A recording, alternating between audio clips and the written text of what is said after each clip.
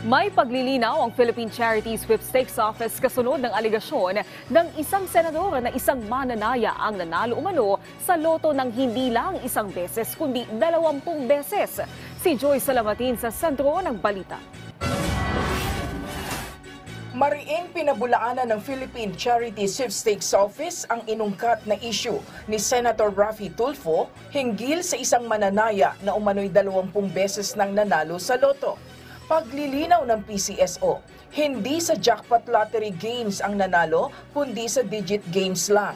Anila, tila hindi napansin ng senador na tinukoy nila sa isinumiteng listahan ang mga nanalo sa kanilang jackpot lottery games gaya ng Lotto 642, Mega Lotto 645, Super Lotto 649, Grand Lotto 655 at Ultra 658 kung saan walang mananaya na nanalo ng higit sa isang beses.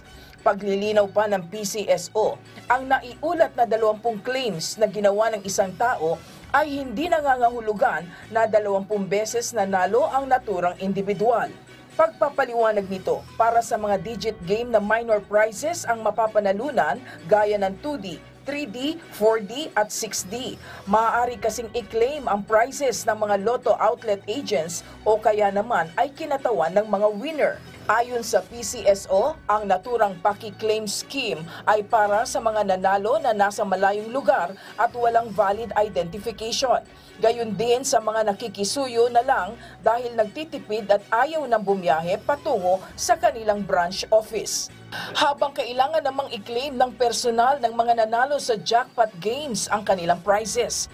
Mababatid na sinabi ni Senador Tulfo na siyang Vice Chairperson ng Senate Committee on Games and Amusement na tumataas ang trust issue sa PCSO dahil sa glitch kamakailan. Ayon sa senador, patuloy pang pinag-aaralan ang mga dokumento at ibubunyag ang mga makukuhang impormasyon sa nakatakdang pagdinig ng komite sa lunes, March 18.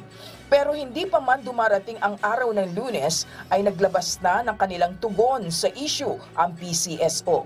Sa huli, Tiniyak ng PCSO na kaligtasan at seguridad ng kanilang mga mananaya ang pinakamahalaga para sa kanila. Siniguro nitong mananatili silang nakatuon sa pagpapaunlad ng gaming environment habang itinataguyod ang patas at may integridad ng mga palaro. Joyce Salamatin para sa Pambansang TV sa Bagong Pilipinas.